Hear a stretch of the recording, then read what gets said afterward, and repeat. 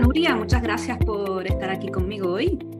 Hola Rebeca, encantada de hablar por fin cara a cara contigo así. Eh, claro, es que el mm. curso como es online, ¿no? Pues tampoco nos vemos mucho, bueno, nos vemos en las mentorías y... Claro, sí, sí. Pero tampoco en el día a día tampoco nos vemos las caras, entonces... Claro, no, no, sí, en mentorías en grupo sí que hemos hablado, pero quería decir así una cosa más, más privada, ¿no? Más de tú a tú, sí, que hemos, nos hemos comunicado muchísimo por email, eso por supuesto, y en las mentorías también. Hmm. Exacto, está bien tener este momento, ¿no? Sí, sí. Y, nada, Nuria, pues cuéntame un poquito sobre ti y sobre tu trayectoria. Pues a ver, yo estudié Derecho y he ido probando distintos, distintas áreas profesionales, ¿vale? Empecé trabajando en Derecho, realmente. Bueno, empecé trabajando en un banco. Luego vi que aquello no era lo mío, cambié y me puse a, ser asesora jurídica en materia de urbanismo. Estuve bastantes años y luego por circunstancias de la vida pues he ido cambiando, ¿vale? Cambié de lugar de residencia. Entonces he pasado por el sector de los hoteles, por la enseñanza del español para extranjeros, que es algo que estoy haciendo en este momento también. Eh, no sé, eh, también he sido, sí, por, qué, por, qué, ese cambio ¿no? de, digamos, de, profesiones como más, más, directamente relacionadas con tus estudios? ¿no? ¿Por qué ese cambio hacia los idiomas? ¿no? ¿Por, qué tomaste esa decisión? Sí, pues a ver, porque yo también eh, cuando estudié la carrera era muy idealista, ¿no? Y tenía una idea un poco irreal de lo que era el mundo del derecho, quizá. Bueno, como todos cuando estudiamos, ¿no? Supongo, supongo. Pero yo que la traducción te digo que yo también tenía unas ideas un poco irreales de lo que iba a ser el, mercado. la verdad que... Y el cine ha hecho mucho daño, ¿vale? Sobre todo en el mundo del derecho y supongo que en el de la medicina también. Sí. Porque la gente tiene una idea de lo que es el día a día de un abogado y luego la realidad pues es muy diferente.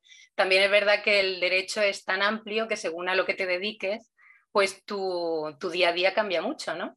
Mm. Entonces, bueno, pues también coincidió que yo me estaba dedicando al sector inmobiliario, digamos, y urbanismo y todo eso, y vino la crisis aquella inmobiliaria tan grande. Y bueno, hubo que reinventarse un poco porque la verdad que el volumen de trabajo pues bajó mucho y bueno. Y también por circunstancias personales, pues eso, como cambié de sitio de residencia, pues dije, bueno, voy a probar otras cosas. Mm. Así que he ido picando un poco de aquí y de allá y ahora digamos que sé un poco de muchas cosas, pero quería centrarme en algo más, quería un poco volver a lo que yo he estudiado, ¿no? Y bueno, pues por eso la traducción me pareció que era un poco una manera de... Claro, es que eh, te, iba a decir, ¿no? Que eso para la traducción en verdad está genial, porque picotear un poco de muchas cosas te da mucha experiencia de diferentes campos y luego significa que te puedes afrontar a, bueno, diferentes tipos de textos, ¿no? Y, y, lo bueno de tu caso es que tú entiendes eh, a lo mejor muy bien al cliente, ¿no? Porque tú a lo mejor has sido el cliente en el pasado, ¿no? O el potencial cliente. Puede ser, Realmente te puedes meter muy bien en, su, claro, sí, en su situación, ¿no? Y puedes un poco saber realmente lo que, lo que busca, ¿no? Claro, yo creo que sí, que te da una visión muy amplia, ¿no? Del mundo del trabajo en general. Entonces, a la hora de, no mm. sé, pues han manejado muchos lenguajes diferentes también y yo qué sé, yo quiero pensar que sí, que realmente pues hay mucha gente que se especializa desde el principio y otros pues a lo mejor que tenemos más tendencia a ir picando de aquí y de allá, ¿no? Y de más curiosidad por probar otras cosas. Y bueno, pues ahí estoy yo. ¿Y, cuándo fue que decidiste estudiar traducción como tal? Porque dices que habías eh, enseñado idiomas, ¿no? Y habías enseñado español. Sí, eh, estoy, en ello también. Sí, sí, y pues, sí, porque realmente a mí los idiomas me gustan mucho y me encanta relacionarme con gente de otros países. Y bueno, y digamos que mi meta también es dominar el, inglés legal y era un poco así. Entonces fue una forma de acercarme al inglés legal y de descubrir una nueva profesión. Y, bueno, pues me sirve para todo eso, ¿no? Pues también me ayuda en mi día a día del trabajo que estoy haciendo actualmente y me abre la puerta a, pues a una profesión que tiene relación con los idiomas y con el derecho. Y pensé, y además está alejado de lo que quizá a mí menos me ha gustado del ejercicio del derecho. Entonces es más, está más centrado en el estudio del derecho, en profundizar en las diferencias entre países y no mm. sé, me pareció muy interesante, la verdad. Así que digo, bueno, vamos a probar por aquí. Y has dicho que había cosas del derecho, ¿no? del, ejercicio del derecho que no te gustaron tanto y no sé si no te importa contarme un poquito por qué. Bueno, en realidad no, no tengo queja, ¿vale? Pero, pero bueno, eh, no sé, es. Ah, no sabría decirte. Eh, yo, yo, quizá también, como te digo, depende del sector del derecho que elijas. Y quizá en el sector donde estaba yo, pues estás tratando más con grandes empresas constructoras y todo eso. Entonces, este día a día de, reuniones con los, ¿no? con, con toda la gente de estas empresas tan grandes y pues a lo mejor yo me veía un poquito fuera de lugar y mm. no sé, no sé, no sé. Y también es verdad que el ejercicio del derecho pues tiene unas presiones, el estar actualizado en todo momento, de, detalles muy pequeños. Los clientes también eh, están manejando mucho dinero y, y, se ponen muy nerviosos y no, en fin, no sé no, es que tenga quejas realmente, pero bueno, quizá no, no estaba en mi elemento 100% en ese sector en concreto. No mm. sé. Bueno, el traductor en verdad también, lo suyo, si es especializado, también tiene que estar bastante actualizado, ¿no? Claro, claro, Un claro. seguir todas estas, todos los cambios en legislación, si, es traductor jurídico, ¿no? pero, pero bueno, claro, a lo mejor lo que tú dices, ¿no? Las presiones son diferentes, ¿no? Porque como tú trabajas con clientes, hmm. bueno, ya sea agencias o clientes directos, eh, no estás tan metido en el meollo, digamos, ¿no? Claro. Entonces a lo mejor las presiones son un poco diferentes, ¿no? Sí, yo creo, ah, tienes que estar actualizado, por supuesto, porque claro, para traducir correctamente un término, pero es otro tipo de actualización, es más académica, ¿no? Es, no sé, la otra es que si los plazos han cambiado, que si, yo qué sé, pequeños detalles que realmente pueden pueden traer problemas muy gordos si no estás ahí al día claro, día. De repente cambia la legislación y, tienes que cambiar todos tus procesos de repente rápido, rápido, rápido y claro. Claro, claro, y en cambio en esto pues puede cambiar, o sea, para que cambie un concepto pues es algo más lento, ¿no? Aunque tengas que estar, por supuesto, actualizado y al día y... No sé, lo veo una forma de actualizarse pues que va más con mi carácter, ¿vale? No, claro, en fin, no sé. Mm. No, no, claro, todos tenemos, yo qué sé, tenemos personalidades diferentes y tenemos que buscar un poco el, el, nicho ¿no? Que, que, va mejor con nuestra personalidad, eso es normal. Claro, claro, sí, sí. Y el momento que tú decides, pues eso, hacer un poco ese cambio y, y, y, que piensas que a lo mejor la traducción puede ser una buena salida de futuro para ti, em, en ese momento eh, ¿por qué decidiste contar con nosotros? ¿Por qué, por qué, ¿Cómo nos encontraste a nosotros a traducción jurídica ¿no? y, y, qué te hizo pensar que podíamos ser, bueno, darte lo que tú estabas buscando? ¿no? Sí, sí, sí. Pues a ver, pues de hecho no recuerdo si fue que primero tomé la decisión de hacer un curso de traducción jurídica y entonces os encontré o realmente fue encontraros lo que me hizo empezar a plantearme esa posibilidad porque quizá, mm, ya no me acuerdo, ¿vale? Pero recuerdo, mm, porque os llevo siguiendo mucho tiempo hasta que me decidí a dar el paso, pero que sí que recuerdo que como siempre estaba buscando, pues para formarme en, inglés legal y todo esto, ¿no? Y entonces, pues yo qué sé, me salía, no sé, no sé cómo llegué a vosotros por internet y empecé a ver vídeos. Y claro, también me gustó mucho la forma de explicar de Fernando y bueno, y de Ruth también, pero sobre todo Fernando, digamos, ha hecho como más clases más, más largas más, ¿no? Y bueno, Fernando, ha dado, Fernando, ha dado, varios talleres, ¿no? Eso, exacto. Y además él, explica súper bien. Entonces... Claro, y yo pues un poco lo tomé como clases, digo, mira, aquí a, disposición de todo el mundo, qué bien, qué gusto. Y, claro, pensé, también como ellos eran abogados, ¿vale? Que venían un poco, venían, era la misma trayectoria, mm. aunque lo tenían más claro desde el principio y, y bueno, me gustó, me gustó en general y me vi, pues dije, anda, pues es una posibilidad que yo no me había planteado, ¿no? Porque quizá en el derecho puro y duro me veía un poquito fuera de lugar en lo que había experimentado hasta entonces, mm. en lo que es la enseñanza de idiomas me veo totalmente fuera de lugar porque tampoco es mi formación ni nada. Y esto era un poco como estar, digo, está a medio camino y aquí estoy yo, ¿vale?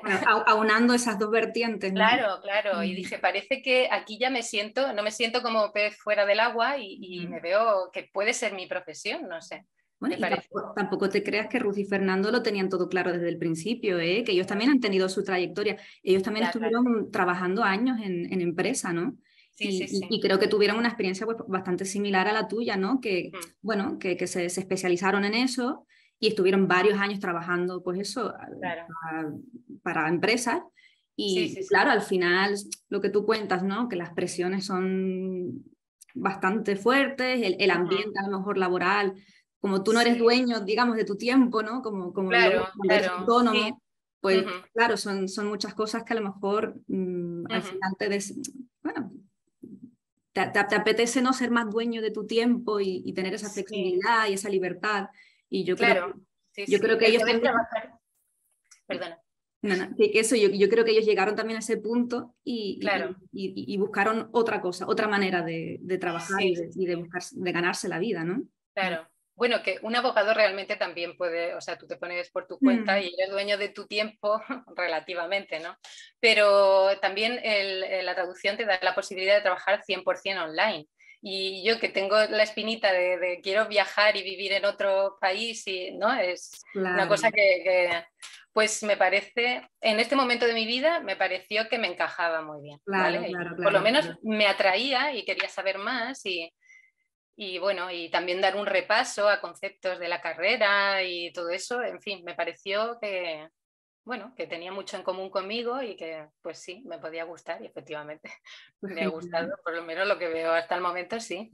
Eso, y, y, y ahora una vez que has hecho el curso con nosotros, em, ¿qué impresiones te, te han dejado? ¿Te, te, ha gustado? ¿Qué, ¿Qué, qué, te llevas del curso? Sí, pues, pues primero, también es verdad que como ¿no? esto de cuanto más aprendes, más sabes lo que te queda por aprender y es un poco, sí, o sea, que me veo que, claro, todavía me queda mucho camino que recorrer. Pero mm, es un curso, una cosa muy buena también, lo del acceso permanente, pues como veo que es tan integral eh, la formación que se da en el curso, ¿no? que desde que los primeros conceptos hasta, hasta el arranque como, como profesional, pues lo veo que es una guía muy buena a la que recurrir cuando yo digo, cuando diga voy a dar realmente este paso, ¿no? Y bueno, me ha gustado porque te acompañan desde el primer momento hasta el final y luego además puedes seguir en contacto con el foro, con la comunidad de compañeros.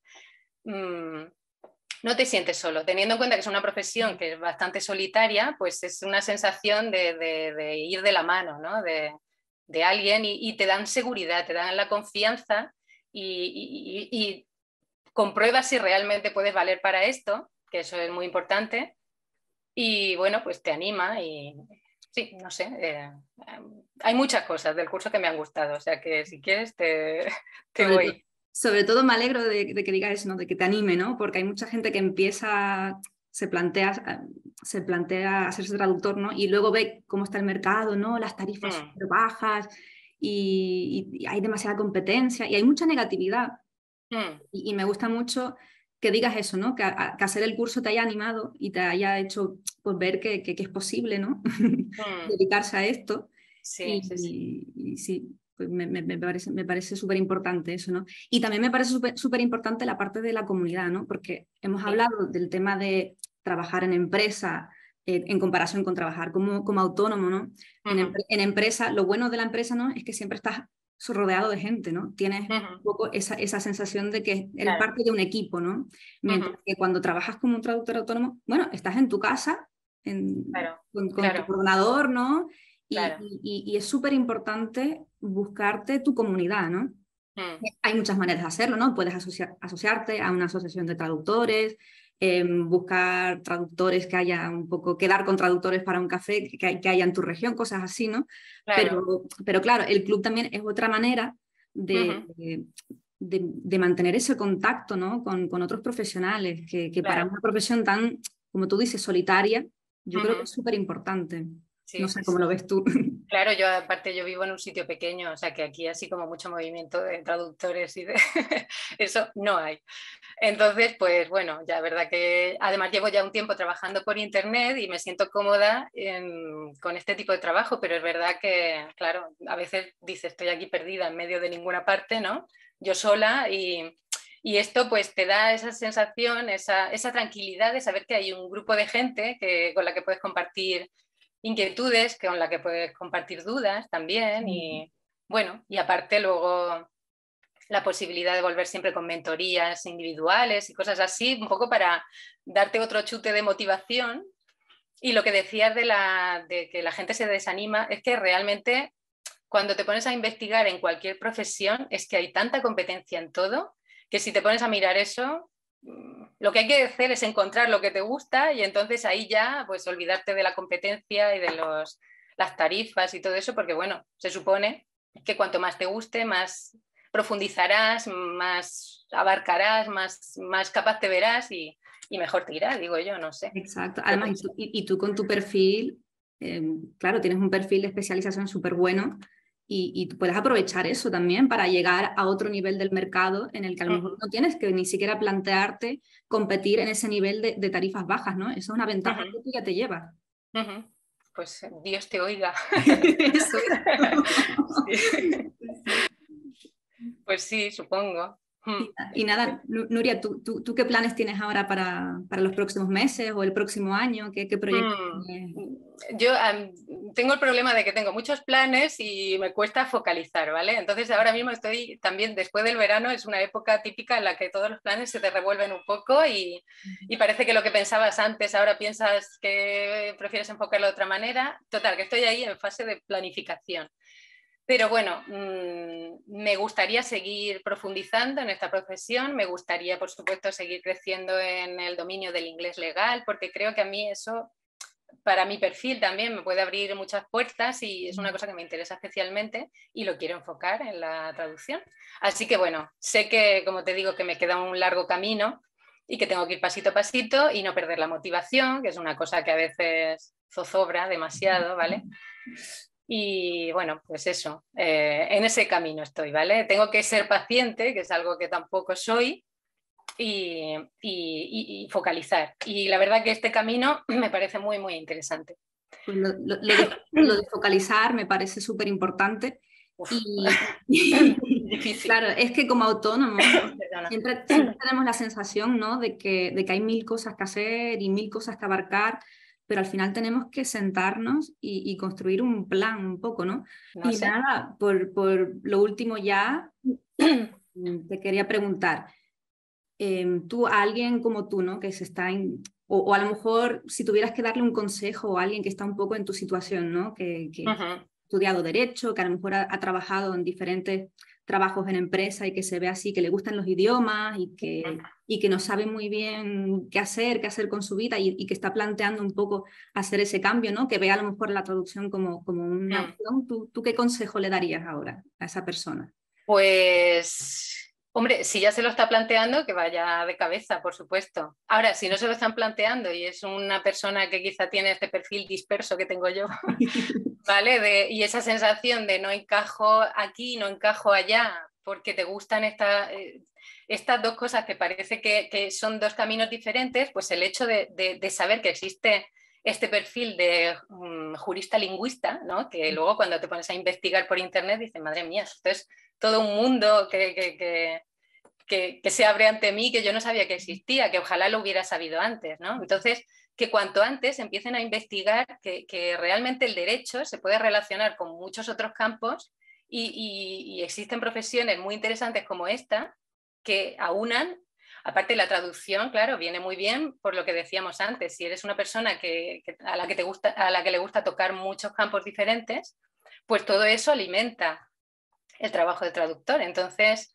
pues es una, una, vía muy buena para darle salida a toda esa curiosidad. Puedes seguir investigando el resto de tu vida en mil cosas y relacionándolas con el idioma. Entonces, pues yo qué sé, lo veo una profesión muy interesante, muy interesante que ojalá hubiera yo contemplado cuando terminé la carrera en vez de, bueno, nunca es tarde, nunca es tarde y, todas esas vivencias justamente van a servir, ¿sabes? Para tu futuro. Sí, claro, claro, todo sirve, todo sirve. Todo sirve, todo sirve.